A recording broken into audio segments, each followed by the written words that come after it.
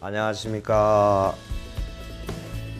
서일봉 스님의 한기론 삶을 위하여 제3지 땡중 땡보살 제10회차 정일입니다. 지난 시간에 이어 오늘은 교재 30페이지의 첫처가 극락일 텐데부터 살펴보겠습니다. 사랑하는 사람은 못 만나서 괴롭고 미워하는 사람은 만나서 괴롭다. 사랑하고 미워하는 마음만 없애면 처처가 다 극락일 텐데 라고 하셨습니다. 문학자인 피천덕 씨는 수필집 인연에서 인생은 평생을 그리워하면서도 못 만나고 살기도 하고 평생을 못 잊으면서 아니 만나고 살기도 하는 것이다 라고 했습니다. 스님께서 말씀하시는 12연기의 상위 상관성은 연기법의 기본 원리로서 생은 사에 의지하고 사는 생에 의지하며 무명은 행에 의지하고 행은 무명에 의지한다. 모든 것이 독립적으로 있는 것이 아니라 서로 의지하고 있다는 것입니다. 그래서 연기는 무화가 근본입니다.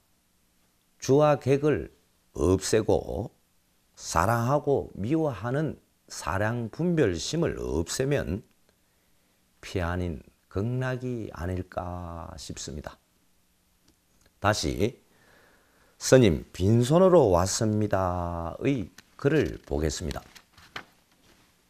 스님 빈손으로 왔습니다. 버리고 오너라. 스님 빈손으로 왔는데 무엇을 버리라 하십니까? 그럼 들고 있거라 하였습니다.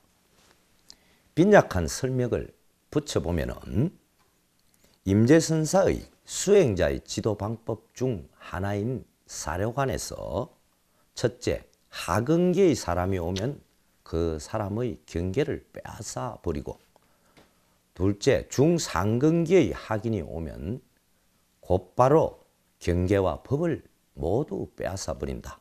셋째 상상근기의 학인이 오면 경계와 법과 사람을 모두 빼앗지 않는다.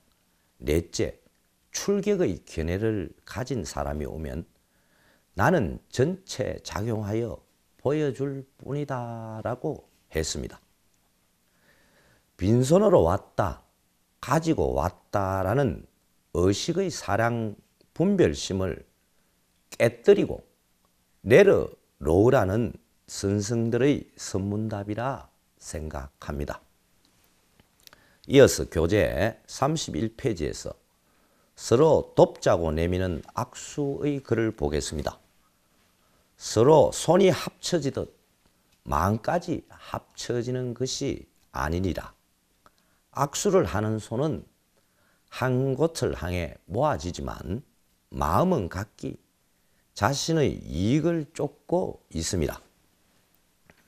어느 날에는 힘을 모으자고 했던 분들이 어느 날에는 뜻이 합리적이지 못하다며 돌아서는 걸 보면 각자 자신의 마음 속에는 자신의 이로 빚어지는 욕심의 현상들이 아닌가도 싶다고 했습니다.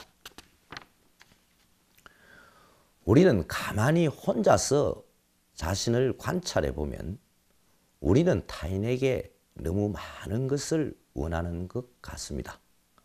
사랑받고 관심받고 존중받고자 하며 또한 남이 나에게 끌리길 원하고 심지어 부러워하길 원합니다. 이처럼 선망의 대상이 되어서 그 영향력을 통해 부와 명예를 갖길 원합니다. 우리가 원하는 모든 욕구는 공통점이 자기 만족의 욕구입니다.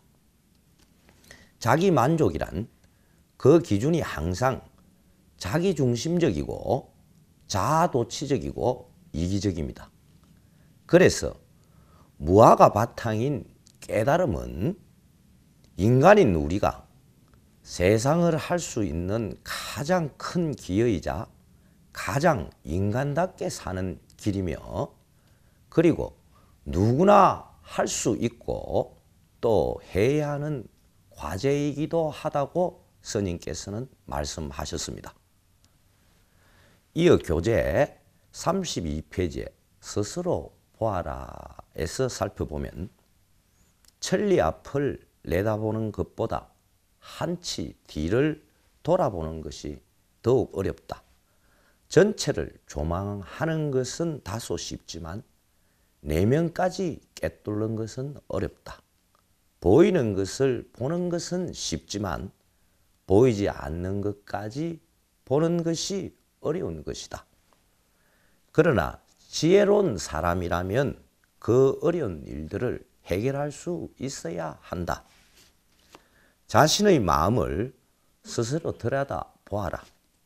알고 보면 자신을 붙잡고 있는 것은 바로 자신이라고 하셨습니다. 상계를 윤회한다는 육도 윤회가 결국은 자기 마음속에서 일어나는 탐진치 삼독의 작용에서 비롯되는 마음의 상태를 말한다고 했습니다.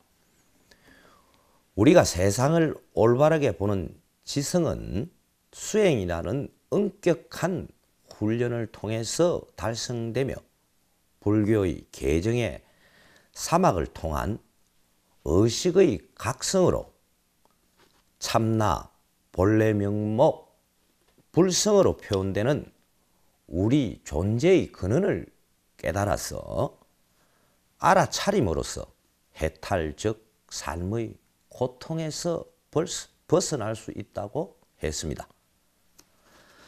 통로사에 계셨던 경봉 스님은 우리에게 사바 세계를 무대로 삼아 멋지게 살아라 라고 했습니다.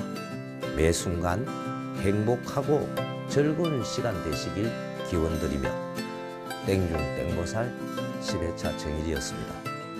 여러분 성불하십시오.